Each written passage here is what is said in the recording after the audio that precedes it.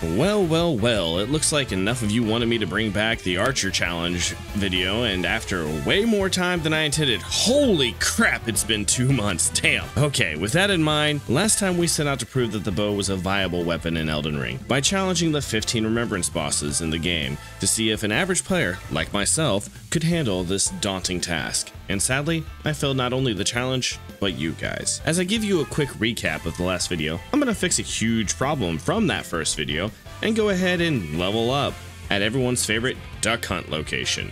So we were defeated by the fire giant after defeating about 6 of the remembrance bosses, which are the main objective of this challenge. So I asked you in the community on what you'd like to see me change and if you are interested in a part 2. And not only have you asked for another video, but you've allowed me to make an addendum to the previous rules. I am now allowed to bring my level up to 150, which will really be a big help as we make our way through the rest of the remembrance bosses in this game. With the 6 we killed in the previous video, we now have 9 bosses left. Are you ready to see if this can be done with the advancement of levels? Well, let's continue and see. We finally hit our new level cap of 150, then we have to fix another big problem that we have in our last run. Do you know what the second biggest problem was in our original video? You've been on YouTube long enough by now. You know what to do. Leave a message below on what it is and we'll get back to this soon. While you answer that, we hunt down some feathers and other arrow crafting materials in order to stock up on what we need for the rest of the challenge. We also grab a few new talismans in order to up the damage output on the build to get it as strong as we can. I think I've given you enough time to figure out our second biggest problem by now. Well, we didn't have our weapons maxed out. So I go and pick up a few somber smithing stones of higher quality and max out both my black bow and my Radahn's great bow. Now that the easy parts are done, I'm already starting to feel a bit nervous about if I'll be able to beat these remembrance bosses still or not. But so that I don't have an immediate repeat of the end of last video, I decide to hit up all the other remembrance bosses that I can reach before going back to the fire giant. So we start with Ah, look at that. Lich Dragon Fortissax is the first one up. I'll let you know this now, but every time I set up to go into a boss fight, I get this sinking feeling in my chest, being super worried that this boss will lead to the end of the challenge. Even though I've made fun of Fortissax being all spectacle in the past, he is not an exception to the rule one bit. So I take a deep breath and touch the sleeping woman and enter the dream where Fortissax resides. However, I very quickly start a thorough acupuncture routine on the dragon's face and feel like I've got this one in the bag. A few jumps and dodges later, and this run is off to a great start as I bag the remembrance of the Lich Dragon. As a heads up to all you watching, while I was filming for the first video, I unlocked all the other remembrance bosses also. So good news everyone! You don't have to watch me get to each boss. So how about you give that like and subscribe button a spin and click those for me so I can continue to bring you more wonderful videos like this one. Well, that could be a problem. I got Mohg, Lord of Blood. We are prepped and good to go, so let's use this man's strengths against him. I stupidly equip my blood arrows after both entering the arena and summoning my Mimic Tear. Like an idiot. I hope to myself that this doesn't mess up the fight much, if at all. My patience is quickly worn thin because no matter how many times I hit the damn dodge button this fight, I can't get the timing right and get smashed over and over again with that big Triton of his. We enter phase 2 and even though he gets a couple of good hits in on me, I turn him into a flying porcupine and drop him filled with my own tiny spears in the first attempt. That seemed a bit easy, even with all the setbacks and my lack of timing with the dodges, but we still have some big bads coming up, and even with that, I'm feeling confident at this point. But which ones do you think have the best chance of stopping me? Alright, and there's only three bosses left, mind you, until we have to continue with the storyline, and one of those won't be making an appearance until later due to my uh, fear of having to face that particular boss with this build. So with that in mind, we get Mr. Dom the Blasphemous. Due to the gimmick of using the Serpent Hunter Spear that this boss is centered around, I've been fearing this boss more than any of the other lower grade Remembrance bosses since I started this run. When I ran this boss fight with my friend Tim from Mad Dog Gaming, his spells were pretty much useless. So will I really stand a chance with my splinter throwing device? Even though I can't use it, I still pick up the Great Spear. I power up and make my gamble. This time I use Radahn's Great Bow, thinking that its rain ability will decimate the god-devouring serpent. However, due to the speed of this boss and how the targeting system in this game works, I can't quite get a proper shot off. This first form managed to pick me up like a cheap date over and over again. He even managed to easily murder my Mimic Tear, and before I even got through with phase 1 of the fight, I lost my first ever life on this try of the challenge run. I decided to say screw it and change back to my normal black bow setup and hope I can take this guy down before he wins with a war of attrition on my arrow supply. The added mobility of my normal build quickly establishes itself as a massive asset as I slowly chunk through his first phase. Upon entering phase 2, I still have both myself and my Mimic Tear, but I'm already halfway through my supply of arrows and I'm over halfway done with my healing supply. Things are getting tough here and the pressure is on. Once he gets to a bit under half health, I both lose my Mimic Tear and am forced to change some of my arrows. Needless to say, I'm on edge as I use my last health potion, and Rykard still has about a fourth of his health bar left. His Flaming Skulls and Slam Attack bring me real low when I remember that I have healing in my Flask of Wondrous Physic and quickly chug that down. Out of healing and not wanting to do this again, I gain some distance on Rykard with a final dodge and arrow shot. I bring him down with a very, very small amount of health left, letting out a sigh of relief and realizing I haven't breathed in like two minutes for that fight. After Rykard, I really deserve a break. But guess who can't get one? It's time for a rematch of a century as I set myself to square off against the ender of my last run, Mr. Fire Giant himself. And to tell you the truth, all that training may have paid off.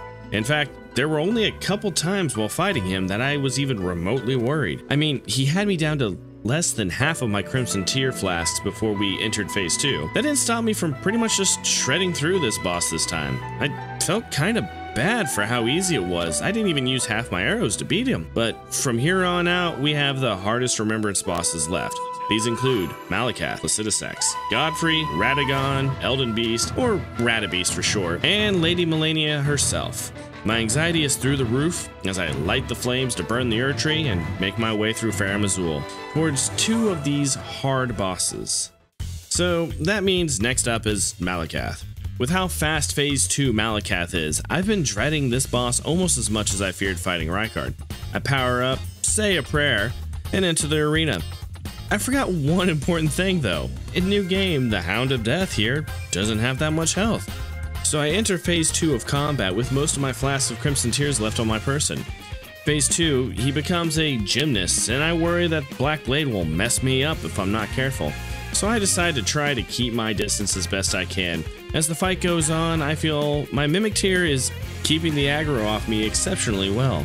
But even with his help, I take more than a few Black Blades to the face before I get one big blood proc, and like that, Maliketh is dead, and I'm on to the Ashen Capital. Now, with only four Remembrance bosses left, I'm feeling like I've got this in the bag. Though two of the hardest bosses still remain, still I've had bad feelings about the others, and I've finished them in one or two attempts. Now we find ourselves outside of the throne room, balcony, place that we once fought Morgott the Felled Omen King, and now the original Elden Lord Godfrey himself is holding his dying son, saying his farewells before he decides to engage us in combat. Oddly, for how powerful he is, I just haven't been fearing this confrontation very much. With either Godfrey or his alter ego Nacho Libre, whoops I mean Hoarah my build is just too agile for the much slower moving Elden Lord. Between the Mimic Tear and Nepheli Loux, and myself, we beat down the first phase of this fight with only taking two hits. But again, I'm so unfazed by his boss fight that I take my time to reapply my buffs before I put down Marika's first lover. We are now down to only three Remembrance bosses left in the game, Placidusax, Malenia, and Radabeast. Personally, the last two can kiss my backside.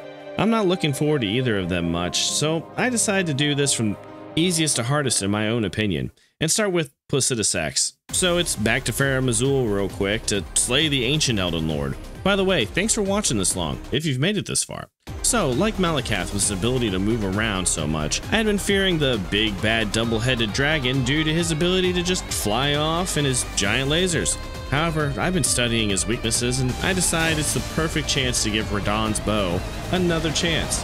One of his abilities I've seen him use has one-shot many people I've helped get this trophy in the past. He hits me with it and drops my health to about half, but after using only 15 shots and almost all my healing items, I managed to take the big dragon down in just a single attempt. Obviously, I have nothing to worry about, I think to myself, as I head back to the Elden Throne to take on Radagon and the Elden Beast. Yes, I think Malenia is harder. If you don't agree with me, argue with me in the comments section. I'll see you there. Anyway, with that being said, let's see what Red Leader has to say about 1,000 arrows penetrating him.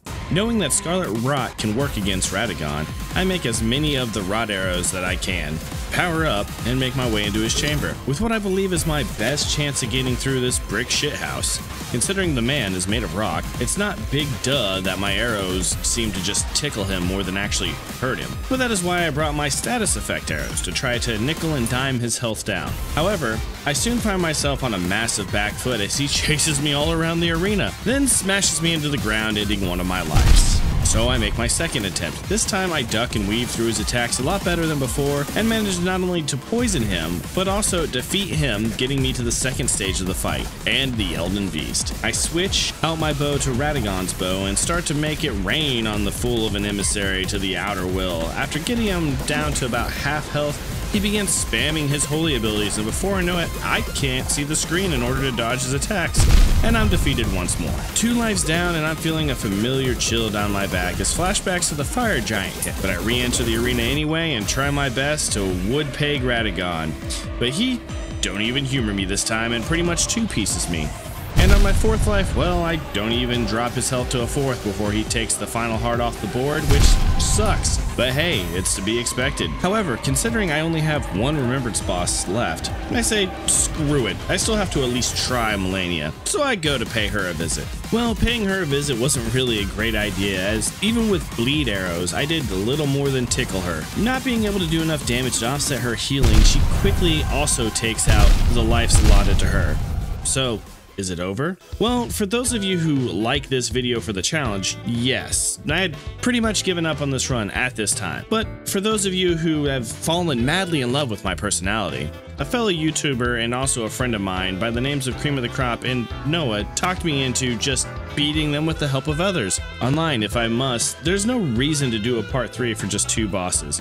With this in mind, we decide that as long as I use the bow, then it still counts as a finish for the run and I move on to the Blade of Miquella. With Malenia, we decide after a quick loss to bring a third with us, so with Blood Arrows and Frost Arrows equipped, we summon an enthusiastic heavy armor user, power up, and make our way into the arena. At a third of her health, she takes Cream down, however, me and the random player keep beating on her, with me building bleed and the random player smacking her with his halberd until in a sudden thrust and a 180 degree spin, I'm impaled and unalive, which forces us into a third attempt. This time we summon a man named Human, who is using her weapon against her, but not using it to its fullest. A quick waterfall dance takes Cream down again, and shortly after another one takes me out, leading us into a very frustrated fourth attempt.